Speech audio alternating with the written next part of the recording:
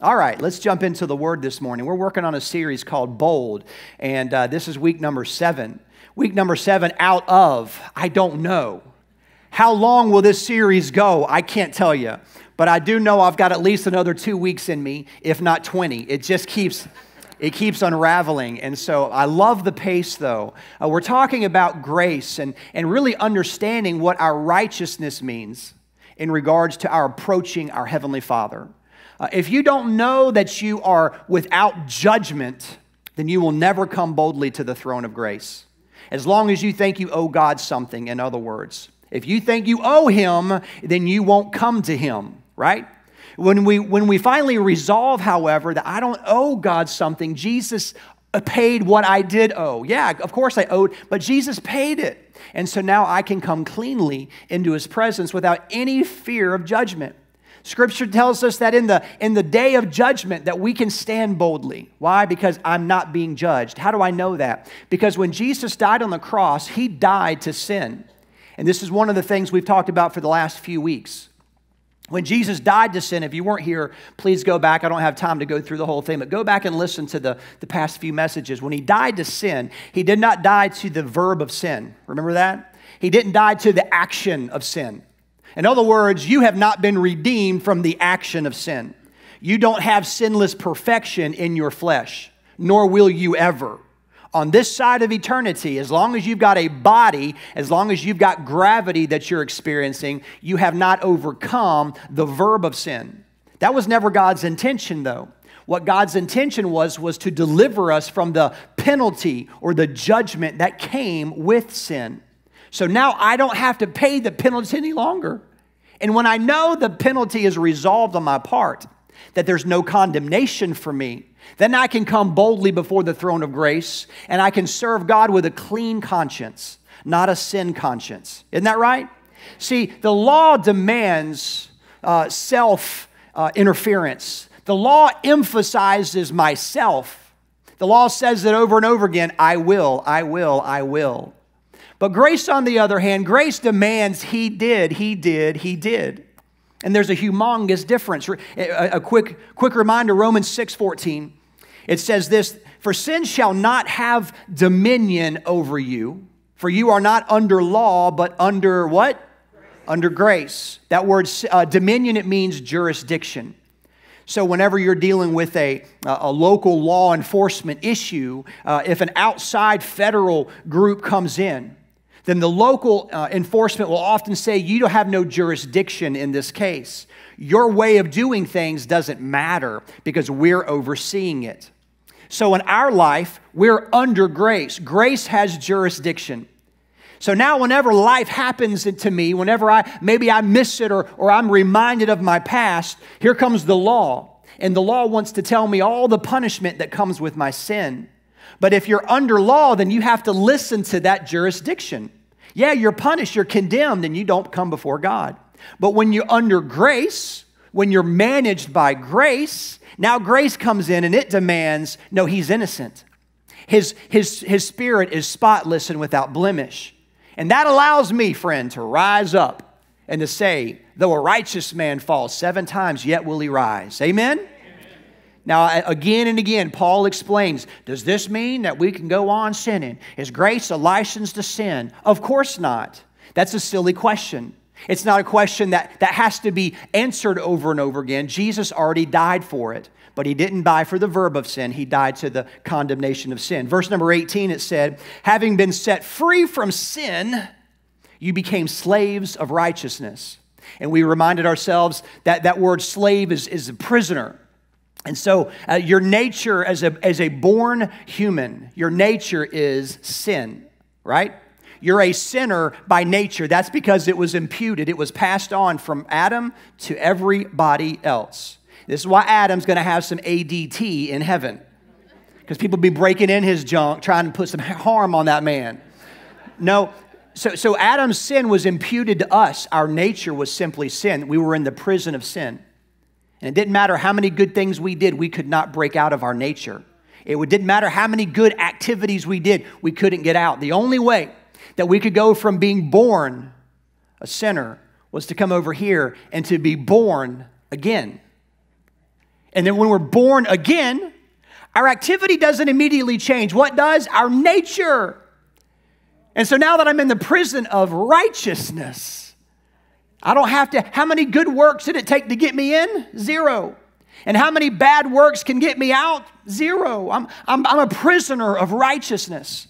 But it's knowing this greatness of our God that causes us to respond with actions of kindness, with actions of love, with actions of mercy.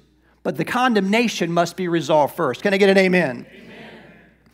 When we were uh, growing, uh, we were raising our kids, we were growing our kids. We were raising our, our kids. Uh, we're still in the middle of it, of course. They're only 10 years old. But five years ago, uh, we were at the beach with Abby's parents, Dave in Virginia, and we had this really cool condo. Uh, the pool was right outside the condo. And, and, uh, and so Kensington, at the beach, she collected all these little seashells. And these little seashells, she wanted to turn into a necklace.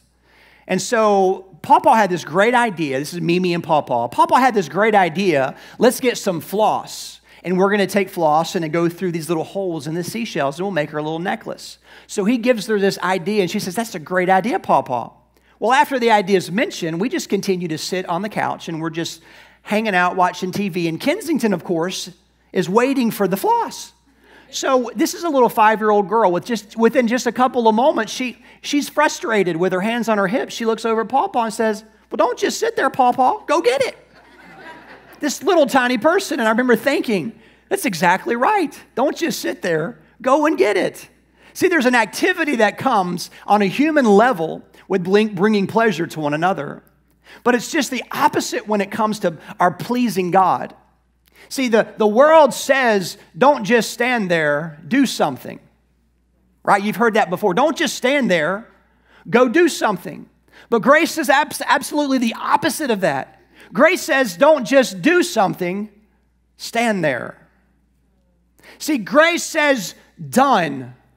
The law says, do. Don't just, somebody say, don't just do something.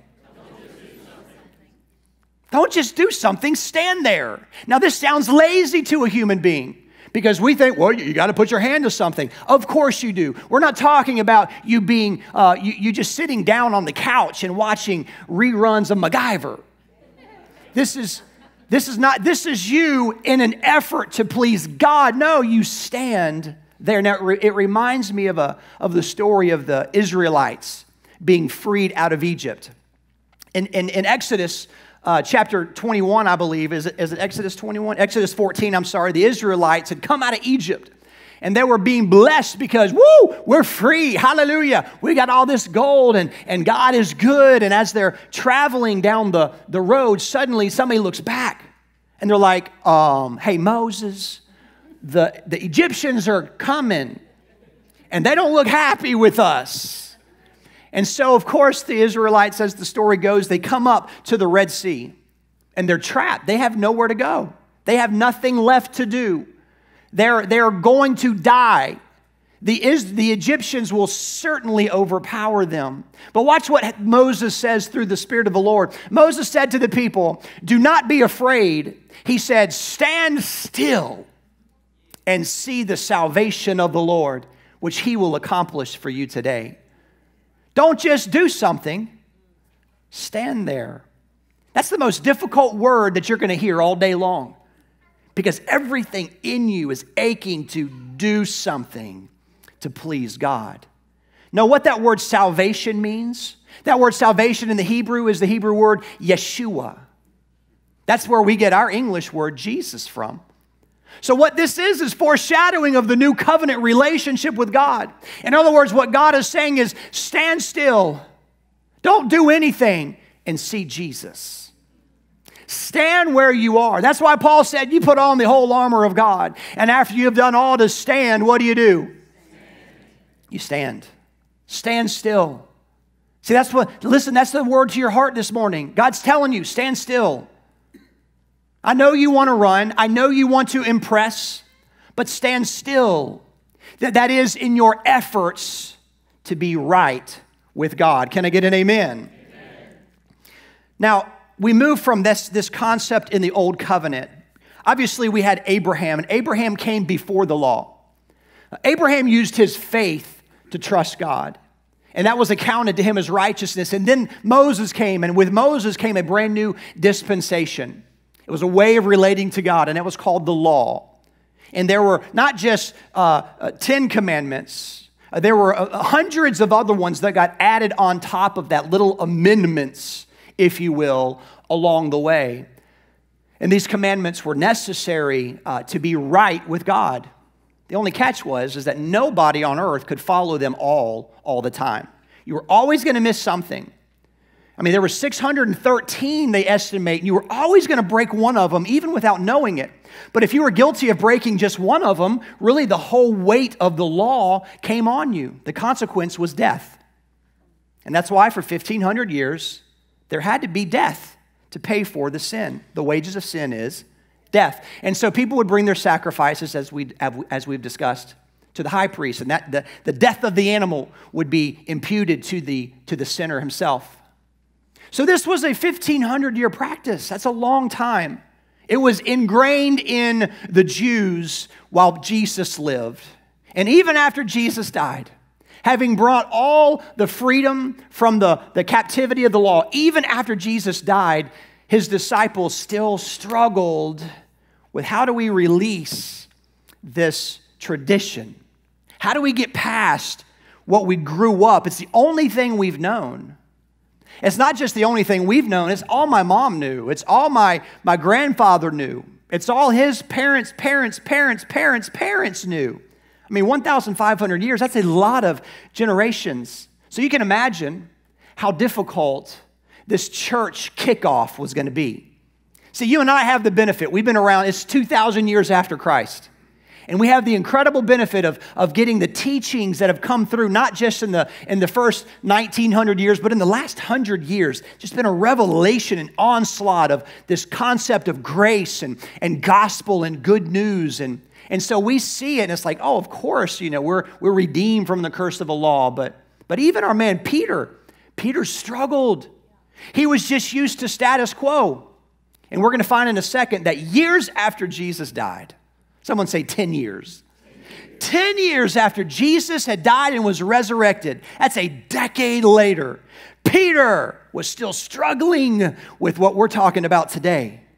In other words, don't feel bad if you are having a hard time letting go of the law in your own life. It's a process, and honestly, it's a lifelong process. It's not something you're ever just going to arrive at, but it is something for, that God's placed in front of us. This is how we access his promises, after all, not by the law, but specifically through grace. So now we're going to look at Peter. And Peter, like I said, 10 years into the, the church being established, he's still struggling. See, he was going through the motions with his parents, parents, parents, and now Peter is faced with how do we introduce grace to the world?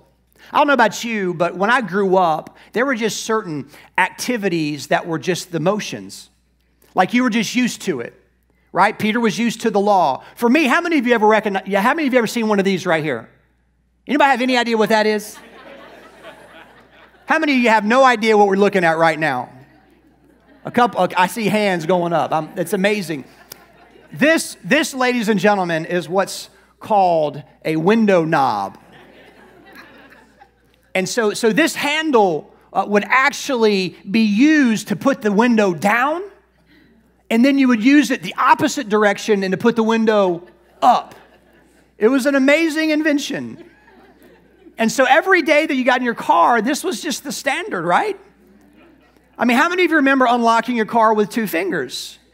You, like the, the, the door lock had a little knob on the top of it, and you could pop it up. You ever put a, a hanger inside the window and you grab that thing? You, they don't do that anymore. Like they got these little smooth little things, and some, some of them is just a digital red light now. That's the way you know it's, it's locked or not.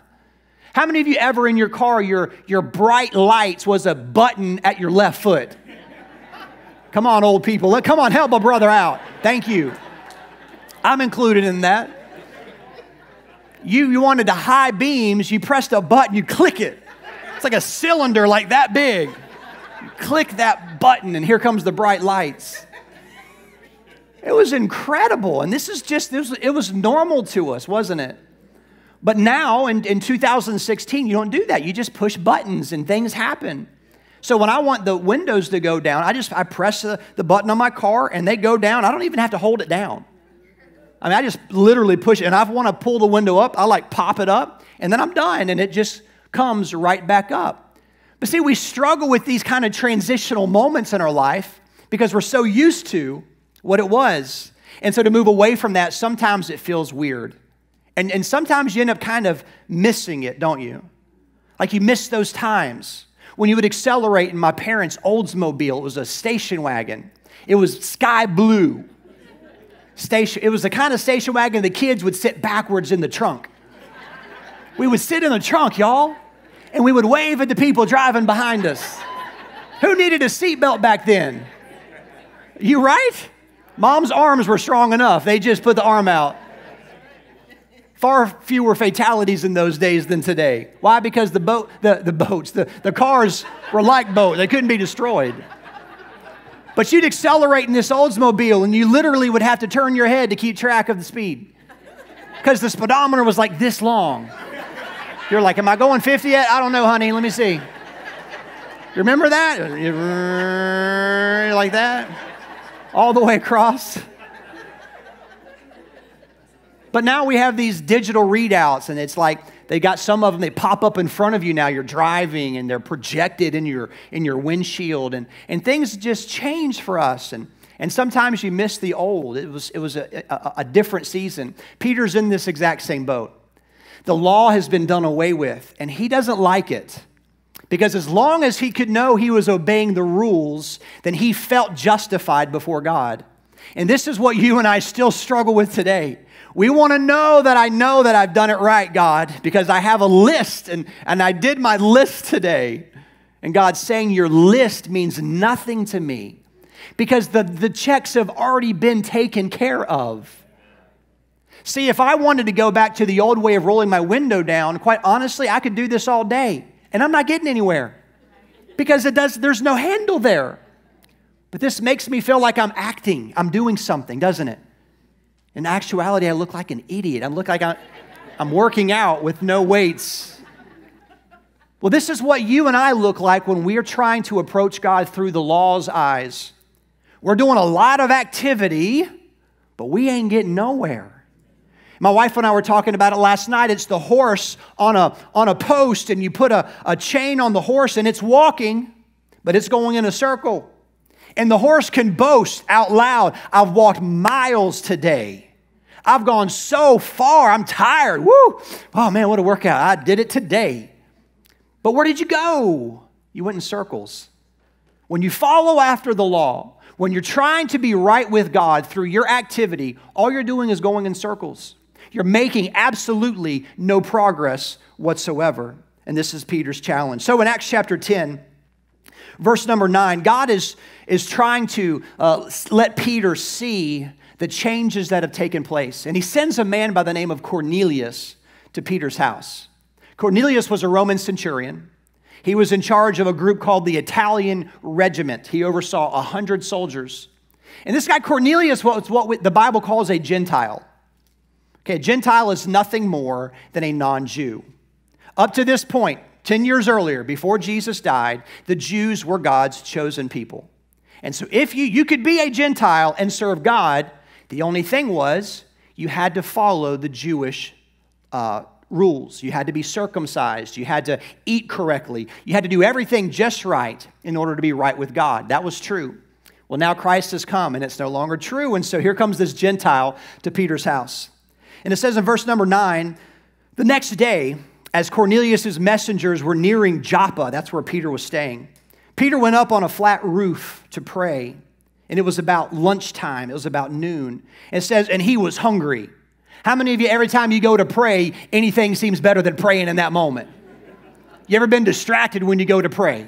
You're like, I'm a, honey, I got to go pray for, I'm, I'm praying, I'm in the prayer closet. Father, I thank, oh, squirrel, what, what's going on? Just like it's so easy to be distracted in those moments where Peter is up on the roof and he's of course he's hungry, you know, but he's He's spending time praying, and it says next, but while a meal was being prepared, he fell into a trance. So here we see that Peter's wife is preparing meatloaf. He loves meatloaf. He just fell into a trance while, while lunch is being baked. Verse 11, it says, He saw the sky open, and something like a large sheet was let down by its four corners. And in the sheet were all sorts of animals, reptiles, and birds. And then a voice said to him, uh, Who do you reckon this voice is, by the way? Is the voice of God, right? God speaking to Peter. He says, Get up, Peter, kill and eat them. Well, Peter is very impetuous. Peter uses these words often. He says, No, Lord. He says, No, Lord. I mean, what is up with my man Peter? How often has he corrected Jesus? Jesus was going to wash his feet. Peter said, No, Lord, you're not washing my feet. Jesus is in the Garden of, Gethsemane, and, and Peter says, Lord, no, I'm not going to betray you. I will walk with you to prison. I will die with you. No, Lord. Once again, here's Peter. No, Lord, I'm not going to do what you tell me to do. This man is a strange guy.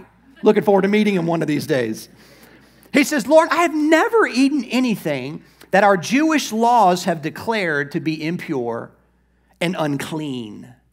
He said, I've grown up with a, a window handle, and I'm not going to use anything besides that to, oh, to lower or, or, or raise my window. I was raised, God, that if I'm going to be right with you, I've got to eat a certain way. Now, later on, Paul explains and he makes it very clear why those eating rules were in place. Yes, it was true. Before Christ, there were dietary laws to follow. But Paul says it like this in Colossians. He said, Let no one judge you in food or in drink, or regarding a festival or a new moon or Sabbaths, next, which are all those eating rules, all the festivals, they were a shadow of things to come but the substance is of Christ. In other words, all those religious uh, rituals, they were only there to foreshadow something bigger. Once the real has come, there is no need to perfectly observe the shadows. Isn't that right? And so Peter's struggling. The perfect in Christ has come. And yet he's still deciding, no, I will not follow this unclean way of the Gentiles. And God told him something different. Verse 15, the voice spoke again. And God told Peter, and God's telling us today do not call something unclean if God has made it clean. In other words, what the Lord is telling Peter in just a minute, three Gentiles come by and clarify the vision for Peter. Peter comes out of the trance and he's working on this, this puzzle like, what in the world does this mean? And immediately, here come three Gentiles and and, and confirms, oh, God's talking about the non Jews. Now, these words, what God has made clean, do not call something unclean if God has made it clean. That first word, unclean, it means unholy. He says, don't call something unholy if God has made it holy. The, the, the opposite of holy is common. You can read it like that. Don't call something common if God has called it holy. In other words, Peter, you've addressed me as your father for, for your whole life, and rightly so. But now that Christ has come, my plan is unrolling that I'm not just the God of the Jews, I'm the God of the Gentiles too. My, my, my desire, my mercy, my grace is not just for the people that do it right Doing it right has been eradicated. Now my mercy and grace is established for all mankind. The Gentiles, you and me, the non Jews, we now have perfect access to be made holy in Christ. Well, Peter got this revelation. This is Acts chapter 10. It's interesting to note. Now, every chapter in Acts is approximately one year after the resurrection of Christ. So, if you're Acts 10, you can estimate that's around 10 years after Jesus' resurrection. The very next chapter, Acts chapter 11, is about one year after this vision. It was in this moment that Peter comes to a city called Antioch. Now, Antioch, scripturally, is a very important city. It was the very first place that, that people were called Christians, as a matter of fact. The Bible says that. So, that word Christian, followers of Christ, little Christs, that, is, that was established in this city. And there's a church in Antioch. And Peter comes to visit this church. It just so happens that another very bold man by the name of Paul is in the same city. Now you've got Peter, and Peter's the one that corrects God all the time. No, no, Lord, I'm not going to do what you just said do. And then you've got Paul. And Paul, on the other hand, was a murderer of Christians. Paul was one that would oversee the destruction of a life that chose to worship Christ. So, two very distinctive men, and they have a clash, y'all. It's the clash of the titans. This is a big deal. Paul comes to Peter because he notices that Peter is acting strange. Paul has a revelation. You know, Paul was called to be apostle to the Gentiles. Peter had a strong ministry to the Jews. God loves both of them. But what we have to understand is what Paul's about to introduce to Peter. In Galatians chapter 2, Paul tells the story. He's reflecting on Acts chapter 11. Galatians chapter 2, verse 11. It says, When Peter came to Antioch, I, Paul, had to oppose him to his face, for what he did was very wrong. Someone say, very wrong. Paul's not going to just oppose someone for a minor obstruction. He says what Peter does is very wrong, and let's find out what he did. Verse 12. When Peter first arrived, he ate with the Gentile believers who were not circumcised. All right, so Peter's off to a good start. Remember, just a year earlier, he had this vision don't call unclean what I have made clean. In other words, now my gospel is available to the Gentiles. Don't go skipping over them. Don't just think that the Jews are the only ones that get this message of salvation. It's everybody now. So Peter starts off pretty good. He's hanging out with the Gentiles, he's eating with them. But then it says, But afterwards, some friends of James came. Now, who's James? Well, James is Jesus' half brother. James, Pastor James, as you might call him, James was the pastor of the church in Jerusalem. Now, the church in Jerusalem, y'all, was about 100,000 people at this time. I mean, it was, it was massive. And they had one campus, y'all. It's crazy, right? Now, there was a humongous church. I mean, uh, uh, tens of thousands of people, and James is the pastor.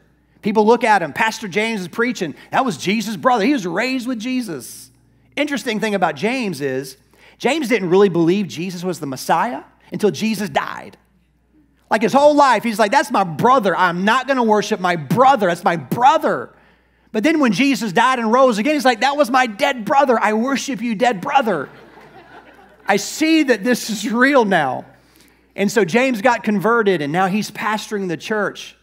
And so here comes Peter. After, after he had gotten there, he was eating with the Gentiles for a while. Uh, Pastor James, it says he sent some friends he sent some, some eyes to kind of come check on, how, see how Peter's doing.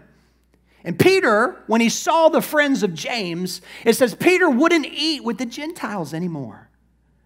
What do you think's happening in Peter's mind? Before James' friends show up, everything's good. I'm happy. I'm living with the Gentiles, man. These people are, are unclean according to the Jewish customs, and I'm, I've had a vision from heaven. Praise the Lord. But remember, this is Peter we're talking about. See, as bold and impetuous as Peter was in saying no to the Lord, he was just as afraid of people, wasn't he? Because it was after Jesus was arrest, arrested that, Jesus, that Peter, he denied Christ three times. Why? Because he was afraid of the people. They said, You're that guy that was with Jesus. No, I'm not. Yeah, you're with him. I recognize your accent. That's not me. No, I'm pretty sure that's you. He starts cussing at the people. Why? Because he was afraid of what people might do to him. So here we have it again. He's now no longer eating with the Gentiles. It says, why? Because he was afraid of criticism. Peter was following now the law. He, he understood grace, yes, but he's now following the law as well. What's he doing? He's mixing them together. He's mixing the grace of God, where you are made right because of Christ, with the law of the Jews.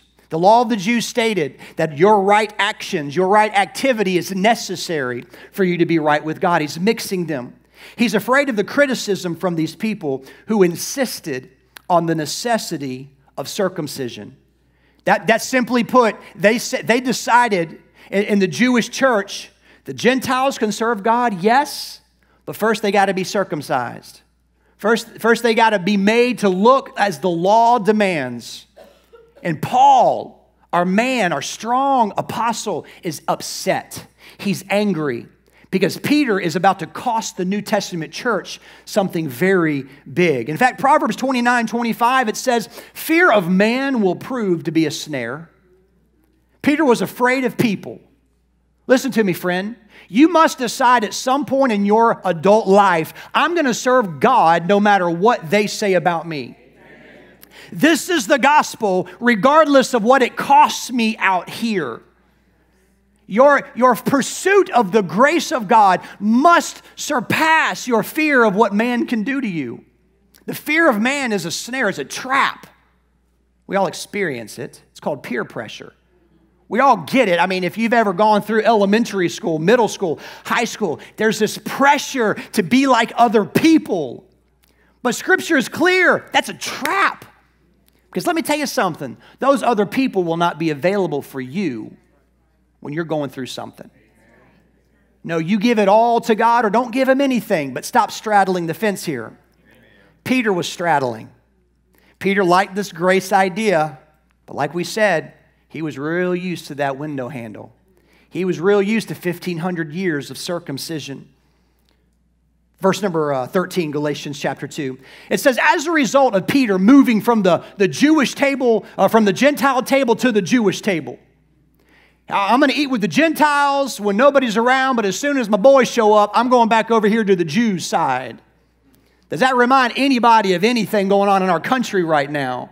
I feel like, I feel like Americans are confused as to who we're for and who we're against. What we're going to find out today is no, we are now called one in the body of Christ. Someone say, I am one. I am one. Say, we are one. we are one. As a result of this, other Jewish believers followed Peter's hypocrisy. Peter was a leader. Whenever Peter went fishing, his boys went fishing. Whenever Peter went to sleep, his friends went to sleep.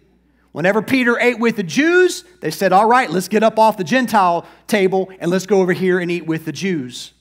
Peter was hypocr- hypocritical, and even Barnabas was led astray by their hypocrisy. Man, can you just, it's deeply inbred. We only do this the Jews' way, and they're trying to get grace, but they're really struggling. Verse 14, here's Paul. But when I saw they were not following the truth of the gospel message, do you hear the strength in that? They were following some gospel, but they weren't following the truth. In other words, there is a false gospel out there. And that false gospel is some hybrid mixture of grace and law. It's some hybrid, and you and I have adopted a little bit of all of it. That's why we need to remind ourselves daily, taking every thought captive, that Jesus was the obedient one. How often do I got to take my thoughts captive? Someone say daily. daily. How, how often are you supposed to take a shower? Someone say daily.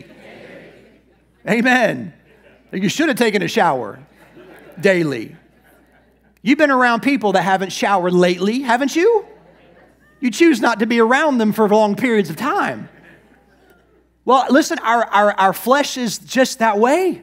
We have to wash it daily. That's why we talked about the washing of the water by the word, washing our feet, getting the dust off of us, so that we're undevourable by the adversary. He said they were not following the truth of the gospel. So he said to Peter in front of all the others, he didn't pull Peter aside. He's like, Peter, get up here on this platform. We need to have a talk. Peter right now is in heaven being like, oh God, here they go again, bringing up my old stuff. He said to Peter in front of all the other ones, since you, a Jew by birth, Peter, have discarded the Jewish laws and you're living as a Gentile. This is not a bad thing. Peter, you started off really good. You put away all the laws to approach God. You're living like a Gentile. Why now are you trying to make these Gentiles follow the Jewish traditions? You're leaving the law, but now you're making them follow the law. You're a hypocrite, Peter. You're saying one thing, but you're doing something else. Verse number 15 You and I are Jews by birth, not sinners like the Gentiles. That's in quotes. Yet we know that a person is made right. How are we made right with God? By faith in Jesus Christ. Someone say, by faith. We're made right not by the law, not by our, an outward uh, uh, physical sign. We're, we're made right not by the law, but by, the, by faith in Jesus Christ. And we, having believed in Christ Jesus, so that we might be made right with God, or we, I'm sorry, let's start that again. And we have believed in Christ Jesus, so that we might be made right with God because of our faith in Jesus Christ, not because we have obeyed the law. In other words, my righteousness with God is now receiving, not achieving. I cannot ever achieve righteousness. I simply have to receive it. Someone say, I receive that. All of your outward signs will never make you right with God. Are you getting the point here? I'm encouraged that my friend Peter struggled with this very thing because it's such a natural struggle. Last part of that, that last verse no one will ever be made right with God by obeying the law. How many people will ever be made right with God? None. No one. By doing what? By obeying the law. No one will ever be made right with God. I'm trying to emphasize this for a second because you feel like you're right with God when you've got it all right. But the Bible is clear no one, someone say, no one. No one, no one will be made right with God by obeying the law. Galatians chapter 2, verse number 18, skip down. Paul said, I am a sinner, therefore, if I rebuild the old system of the law that I already tore down. I'm a sinner. I'm, I'm injuring. Now, listen to me. This conversation, this confrontation, it takes place over a dinner. All this conversation happened because of eating. What are we saying? We're saying that the gospel is so precious, it's so important that Paul had to address this moment now, even though it was just about food. What does that tell us? That tells us with everything in us, we must fight against the need, the desire, this concept that I can make God happy by doing good. You don't make God happy by doing good, He's already happy. Come on. My son played football Saturday. He's on a flag football team, and they got obliterated. Like it was embarrassing. Like I wanted to get out there and I wanted to play show you kids how to play against my son. Give me the ball. I wanted to get out there. And at halftime, I could tell, man, Camden is just devastated. He's so sad. And I say, son, come here. I need to tell you something. And so I pull him aside. The whole team's over there. I'm one of the assistant coaches. I'm coach. Hey, coach. So here he. I love being called coach. One of the kids throws, hey, coach, can we? Yeah coach. So here comes Camden, he's, I, I get down on my knees with him. I say, son, I need you to understand that, yeah, you guys are not playing well right now, but you are still my best buddy. And I love you more than ever. And so in the second half, you get out there and you have fun. And you play hard. And no matter what the outcome is, you just need to know that I'm happy with you. I'm satisfied that you've given it everything you've got. See, we imagine that God's on the sideline and he's, he's Nick Saban, y'all, he's throwing his headset off because you dropped a ball at the very end of the last play of the game and you already won by 51 points. we, we, we feel like that's God towards us, don't we? And no, what God is, is God's a good father. And he gets down on his knees and he says, Come here, come here, Brandon. I need you to know that even though you blew it, I love you. And you're my best son. You're my best buddy. And I will never be unsatisfied with you. I will never. That's why we have to see ourselves in this prison of righteousness because He'll always be happy with me. Not because of my actions, remember that. It's not the activity that I was redeemed from. The, the, the price was paid for the disease that I was infected with. And so now we're free and free indeed. Amen. Amen. Paul said, if I rebuild that system of the law, where you have to do right to be right. I'm a sinner. Amazing. See, in the old covenant, there was a temple. They built this in Jerusalem. It started off as a tabernacle with Moses in the desert. And then God gave David some plans. King David and then his son Solomon built this amazing temple. And in Herod's time, right as Jesus was, was, was living his life, the temple was completed and it was beautiful and spectacular. But inside the, the, the, the walls of the temple, there was a miniature wall. And it's called the, the, the wall of, of separation. And this wall was about five feet high. And the wall was very close uh, to the boundaries of the actual temple itself, where the Holy of Holies was. And, and this wall of separation, it was the middle wall. Uh, Jews could actually go inside the middle wall. But there was a court, it was humongous on the outside of that wall. It was called the court of the Gentiles. And so no Gentile was allowed past this wall. In fact, there was a sign on the wall. Archaeologists have actually found the inscription. And, the inscription basically said this that Gentiles cross this line and their life is in their own hands. If you come across this line, then you will probably be killed by a Jew. That was a sign there. This is one of the reasons that Paul was arrested at one time, because Paul was accused of bringing a Gentile past that wall a guy by the name of Trophimus. He brought Trophimus past the wall. He was accused of it anyway. Well, this is a serious offense. And so, so Paul writes into the Ephesians in Ephesians chapter 2. He says this, verse 14 Jesus himself is our peace, who has made both one and has broken down this middle wall of separation Jesus broke down. Now, that wall of separation is symbolic of the law.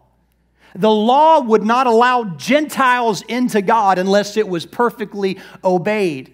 The Jews could not be right with God unless it was perfectly obeyed. Paul's saying that God is stripping that wall down. Verse 15, having abolished in his flesh the enmity, that is, the law of commandments contained in ordinances. The middle wall of separation has been removed. That is based, it's, it's symbolic of the law of commandments.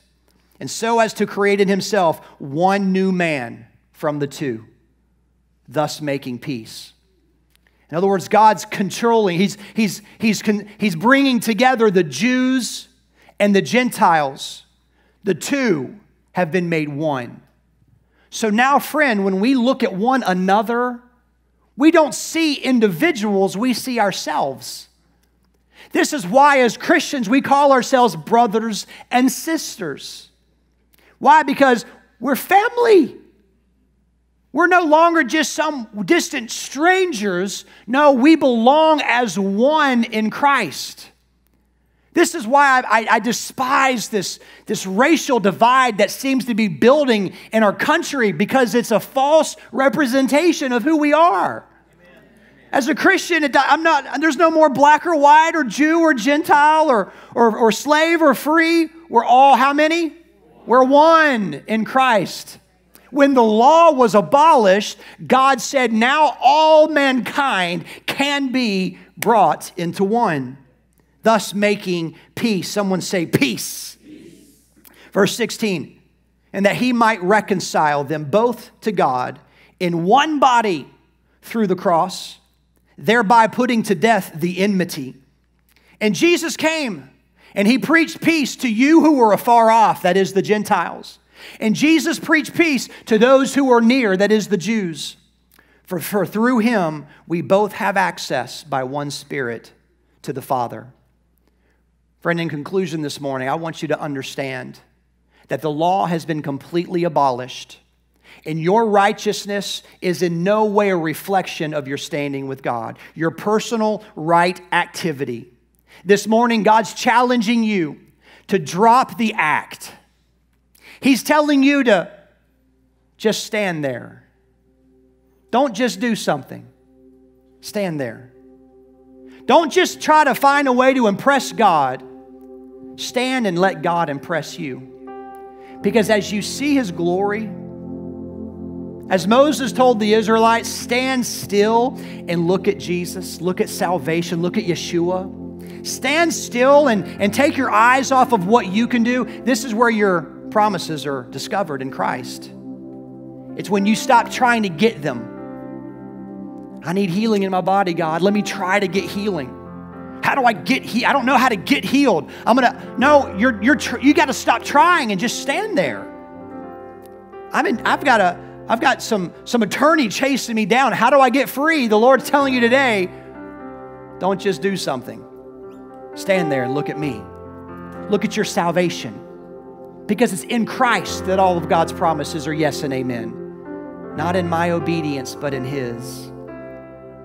Guys, the middle wall has been torn down. There was a separation between the Gentiles and the Jews, and that wall collapsed. Not only did God remove that wall, there was another obstacle keeping us from God, and it was called the veil. The veil in the Holy of Holies. The Bible says it was ripped in half from the top down to the bottom. Every obstacle that keeps you from God has been removed completely. What does that mean? It means you have free access. When? Right now, right where you're sitting. You don't have to beg God for a thing. You don't have to plead your case for a thing. You don't have to convince God to bless you. What God's telling you today is learn how to receive and stop trying to achieve. And as we get to that place of maturity, woo, serving God becomes a joy. It's a, someone say it's a joy. It's been a chore for far too, far too long. People complain about how hard it is to serve God, not if you know how to do nothing. What are you going to do to make God happy today? I'm going to stand still. I'm just going to stand here and look at Jesus. We've complicated it.